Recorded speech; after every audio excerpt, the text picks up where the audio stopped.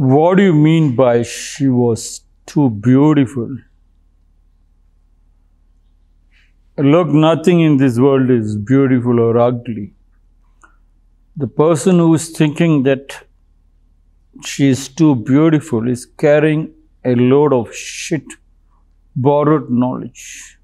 And the person who is carrying herself, thinking she is so beautiful, is carrying a lot of shit, borrowed knowledge. Both are not the truth. The truth is feel, smell, taste, touch, and see your experience in this uh, beautiful world. Everything in the nature is beautiful, like what they say. The earth has provided enough for man's needs, but not for his greed. Likewise, the earth has provided enough for man's enjoyment. Everything in my shop is the most beautiful, the best, said the butcher. Likewise, if the day you think this is not beautiful, you try to imitate,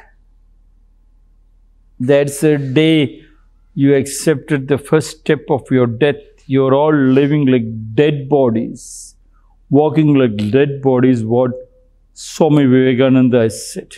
This is the 50th story from the Zen Flesh, Zen Bones written by Paul Krebs. Ryonen's clear realization. The Buddhist now known as Rionen was born in 19, 1797. She was a granddaughter of the famous Japanese warrior Shingen. Her poetical genius and alluring beauty were such that at 17 she was serving the empress as one of the ladies of the court. Even at such a youthful age, fame awaited her. Here they says the warrior daughter, granddaughter of the famous Japanese warrior, was beautiful, it seems. Hence, she was taken into the court to be the assistant to the empress. All these emperors, emp- kings, all those have become copycats. The kings and the emperors have got zero knowledge about life, experience. Hence, they go with the term beautiful, ugly. And the moment you say beautiful, they wanted it painted like what the advisors have told them. And that paint is painted culture is beautiful. So you don't get the originality, you can get anything painted. But inside there is a devil that is not counted. Hence, when the emperors were ruling and he was pro- projected with a beautiful girl or beautiful things or beautiful wine and beautiful food, beautiful buildings, all those was artificial. When the king was artificial people, he made the people artificial. With that, the death happened. And you can see centuries past, kingdoms of the kingdoms were wiped away. But only the saintly person's name stands. And that name is called the nature. The saintly person's name stands, that is called the sun, the moon, the wind, so beautiful the earth. You can also become like that. The beloved emperor died suddenly, and Ryonen's hopeful dreams vanished. She became acutely aware of the impermanency of life in this world. I was then that she decided, it was then that she decided, decided to study Zen. Her relatives disagreed how and practically forced her into marriage with the promise that she might become a nun after she had become, she has born three children. Orionen ascended before she was 25. She had accomplished this condition. Yes. After she left the palace, she went to project her duplicity. The emperor died. She was thinking, she knew, but nobody will accept in this world. That she was duplicate, neither she will accept she was duplicate. So she knew nothing is permanent. She left to learn Zen. But her relatives told her, no, first marriage, minimum have three children, then you decide. She completed the marriage, have three children, then she said, I want to go to become Zen. Yes. Trying to be something never becomes you. You jumped from one place to another to another. You're jumping from one jail to another jail. Why did you change this jail? Because you felt the other jail is much better. So I killed one more person so I can get a bigger jail. But your criminal mind is the same. Ryonen, which means to realize clearly and stated on her pilgrimage. And stated on her pilgrimage. She came to the city of Edo and asked Tetsugyu to accept her as a disciple. At one glance, the master rejected her because she was too beautiful. Ryonen then went to another master, Hakuo. Hakuo refused her for the same reason, saying that her beauty would only make trouble. There was no beauty. She is thinking there was beautiful the two masters refused because she was carrying a load that I am beautiful. She was carrying a load that I am so and so. She was carrying a load that I am a girl. She was carrying a load that everybody is looking at me to molest and rape and touch and kiss. She's just carrying the load everybody understands. She's carrying. Like the lady, the richest lady went to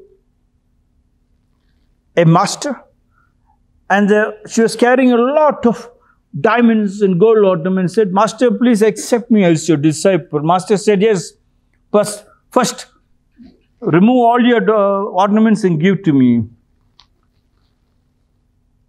she said master give me a day's time next day she came and returned all the ornaments one week passed two weeks passed she started spreading the rumor in the ashram telling the master is a robber. He has taken ornaments and not returned. So the master's senior disciple went and told the master, when I came, you did the same to me. You asked me to strip naked. I stripped naked. And you said, okay, take your clothes and ornaments and go.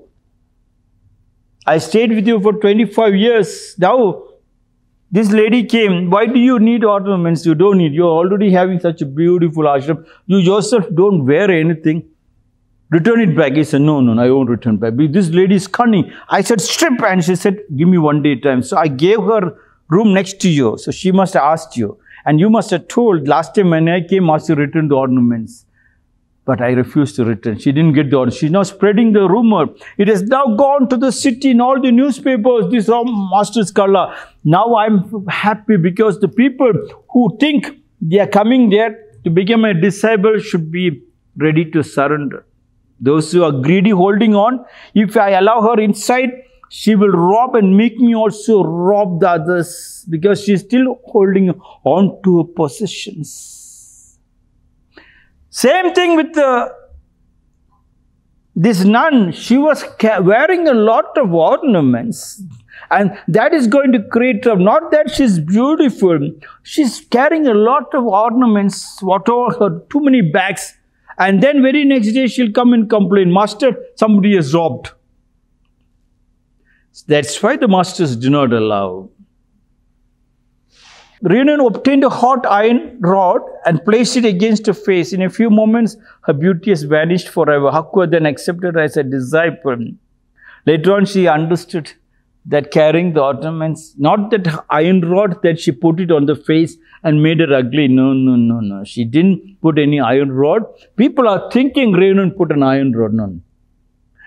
What they said is burn the toughest stone should be put to the highest fire, highest temperature of the fire, and the gold melts for the artist to make varieties of ornaments. So she decided to burn herself, all her borrowed knowledge. And when she became empty, she could see the beautiful, she could take both hands and folded hands and say namaste to the master. She refused to say namaste. She must have given a hand, stretched hand. The sun never sets under the British Empire. The British stood straight and shook hands. And the big tree fell down in a massive big wind. But the Indians did Shashtanga Namaskara and they were like the long grass. When the wind came, it danced to the tune and it never broke. The sun never sets under the British Empire, broke into pieces. She burnt it like a grass. She was now good dance. She could now do her Shashtanga Namaskara flat. She became healthy. That was what she said. Yes. Commemorating on this occasion, Ryonen wrote a poem to the back of a little mirror. In the service of my emperors, I burn incense to perfume my exquisite clothes. Now, as a homeless mendicant, I burn my face to enter a Zen temple. Burn my face means that face is faceless. It is that what was your face before when your parents were born?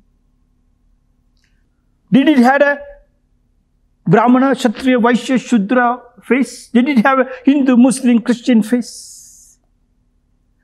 In the service of my emperors, I burned incense to perfume my exquisite clothes. Now, as a homeless mendicant, I burn my face to enter a Zen temple. Burn it, yes.